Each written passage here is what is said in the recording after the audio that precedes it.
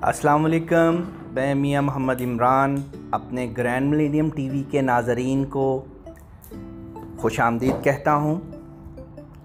आज की ताज़ा ख़बर, इंडिया और चीन के दरमियान रात को जो झड़पें जारी थीं, उसमें 40 से ज़्यादा इंडियन फ़ौजी ज़ख्मी और चौंतीस से ज़्यादा हलाक और लापता हैं।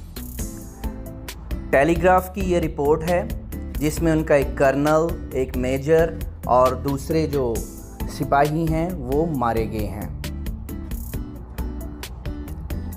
इंडियन आर्मी ने बॉलीवुड की फ़िल्म देखते हुए जो है तलवारों और चाकुओं के साथ वार करने की कोशिश की, जिसमें चाइनीज़ आर्मी ने उन्हें ऐसा जवाब दिया कि उनके 40 से ज़्यादा फ़ौजियों को जहन्नम वासल कर दिया।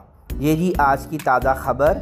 जैसा कि आप जानते हैं कि चाइनीज़ फ़ौज ने लद्दाख में गलवान वादी के मुकाम के ऊपर एफ़ फोर तक अपना कब्ज़ा जमा लिया है और वहीं पर झड़पें हुई।